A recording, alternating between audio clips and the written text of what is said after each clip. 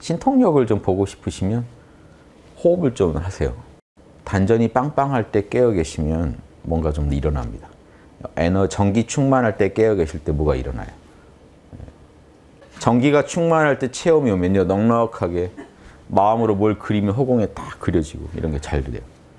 보면 신기하죠 그런 거 보면 예전 어른들한테 들었던 말이 펼쳐지. 저만 해도 막 명상하면 한 요쯤에 나와서 앉아 있고 그럼 여기서 팔다리가 여기서 느껴져요. 이 육신은 덜 느껴져요.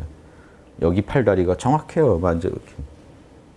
딱 지금 이 힘 그대로입니다. 여기 있으면. 이런 짓 자꾸 해보고 그럼 신기하죠. 할 땐 신기해서 계속해요. 반년 하다가 멈췄어요. 신기하다. 오늘 또 나가지려나 또 나가봐요. 또 나가. 신기하잖아요. 혼자서 이게 그때 고시 공부도 잘 안 되고 막 할 때라 그 고시 공부할 때인데 반년을 이짓하고 있었어요. 공부를 안 하고 나왔다 들어갔다 나갔다. 학원 갔다 오면은 딱 방에 누워 있으면 제가 위에 누워 있어요. 여기 누워 있어요. 그럼 이게 혼체도 아니에요. 에너지체예요. 에너지체는 힘이 달라요. 파워가. 그거, 그거 그꿈 같은 세계가 아니에요. 현실에 있어요. 지금 이 공간에 있으면서 이쯤에서 파워를 가지고 있어요. 이런 거 이런 거 가지고 구분해요. 혼으로 나가면 꿈 같은 세계로 들어갑니다. 근데 딱 현실이에요. 정확히 현실에서 내가 딱 힘을 가지고 여기 있어요. 이제 제 몸은 덜 느껴지고 이 몸이 더 느껴져요. 거기서 경락이랑 다 거기 있습니다. 경락체가 그대로 나가는 거죠. 그것도 한 반년 하니까 더 하지 말아야겠다는 생각이 그만해야겠다 멈추고 딱 그 제 고시 끝나면서 그 뒤로 안 나간 것 같아요. 그것도 해보니까 다. 그래서 그 뒤로 더 연구한 게 양심이에요.